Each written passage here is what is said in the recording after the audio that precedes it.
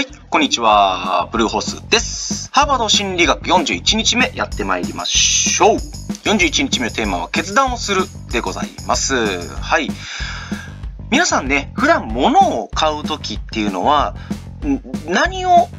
基準に決断ってしてますかね？例えば、まあ、お金が高いか安いかとか、物持ちがいいか悪いかとか、お気に入りのブランドとか、周りのみんなが持っているブームに乗ってるかどうか、でそれから店員の対応がいいか悪いかとか、まあ、生活とか、今この瞬間に必要かどうかって、いろんな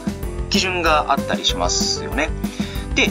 僕個人は、例えばですけど、まあ、高い買い物をするときっていうのは結構即決します。旅行とかね、家電製品に関しては。で、安い買い物っていうのはもう結構考えるんですよ。日用品とか食材とかね。で、買う頻度が多いものに関してはめっちゃ検討するんですよね。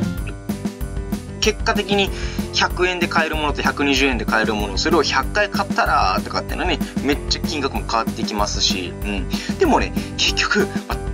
高かったとか質が低かったっていう風にあの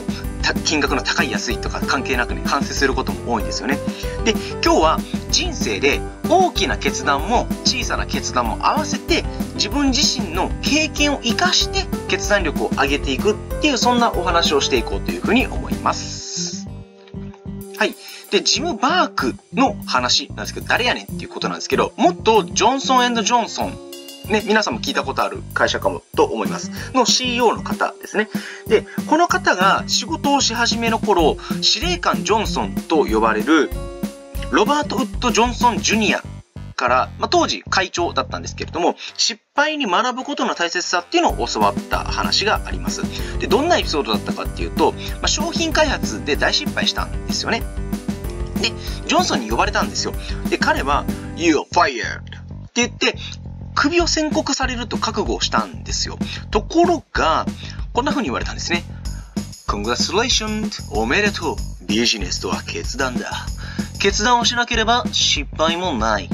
私の一番難しい仕事は社員に決断を促すことだ。どんどん決断をしてくれ。成功することよりも失敗することの方が多いことを学んでくれ。ただし、同じ失敗を繰り返す決断をしたらクビだけどね。というお話をしたんですよね。で、バーク自身はこの言葉を受けて、自分自身が経営者になってからも社員に向けて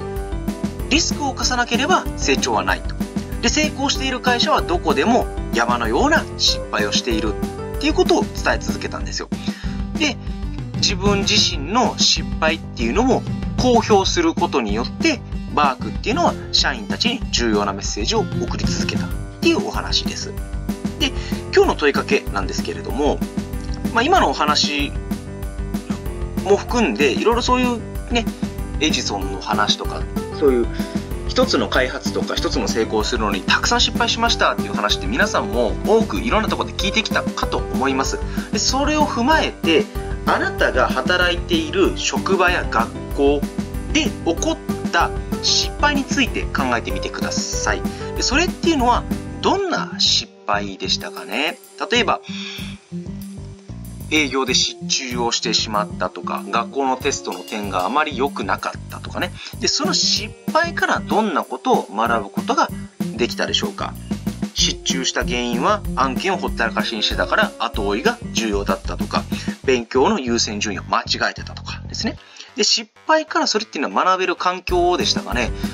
失敗を拭ってくれるような上司や先輩がいてくれたとか、それともそんなミスも許してもらえないような環境なのか。ね。で、失敗した時に誰がどんな言葉をかけてくれたでしょうか。一つエピソードを、一つでだけで結構なので思い出してやってみていただけたらと思います。で、今日のワークなんですけど、失敗を見直すっていうところですね。で、何回か前の話でもこういうこと言ったことを思うんですけど、失敗をしたくないっていうのは誰もが思うことだと思うんですよ。で、決断するのを、まあ、失敗っていうことを考えると、まあ、ためらってしまうんですよね。決断を避けたりとか、ためらったりとか。ところが、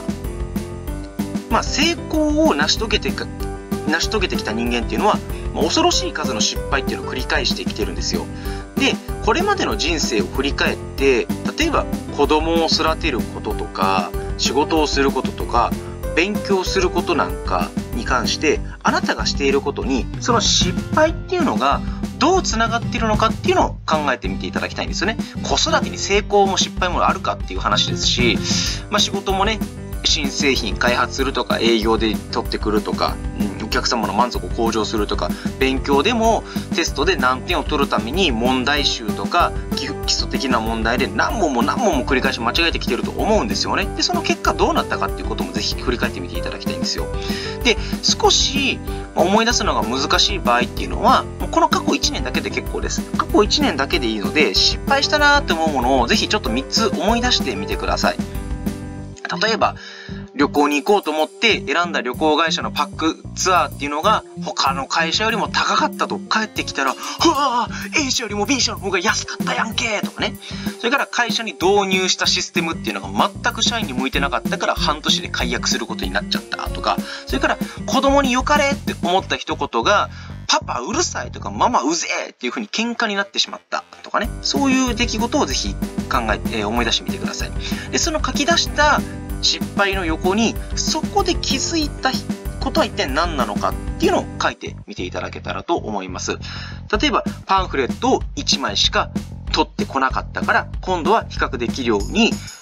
行き先に関するパンフレットを5枚は持ってこようとかね。うん。で、怖い話って何かっていうと、おどろおどろしい、ほらーっていう話ではなくって、失敗から学ばないで気づかずのまま、あ、何々ちゃん怒らしちゃったなとか、あ、社員に会わへんかったんやなだけで、事実にほったら、事実だけをほったらかしにしてしまってると、負け癖とか失敗癖っていうのが身につくだけで、残念ながらそこから成長したりとか成功する可能性っていうのを縮めてしまうデータっていうのもありますんで、しっかりとなんでうまくいかなかったのか、どうすればよかったのかっていう気づきや分析っていうのをする癖を身につけていってください。さもないと、何回も何回も、なんでそれで失敗するのっていう同じ繰り返しをしてしまう羽目になってしまうので注意をしてください。ということで、本日の最後にですね、バスケットボールやサッカーでの1本ゴールを決める裏には、もう何万本と外れてきたシュートがあるんですよね。で、何億円、何兆円もの利益を上げる会社の裏には同じだけの損失っていうのは当然あります。つまり成功するにはそれ以上の同等の失敗かそれ以上の失敗があるんですよっていうことなんですよ。だから成功のためには嫌な思いや失敗はあるっていう風にいい意味で諦めてとことんチャレンジしていただけたらと思います。はい。チャレンジした分だけが成長や成功につながるんで、で、その分だけ当然失敗や嫌な思いもありますから、もうそれはもう仕方ないものだというふうに開き直って、ぜひチャレンジをしていきましょう。ということで、本日の動画は以上となります。お疲れ様でした。さよなら。バイバイ。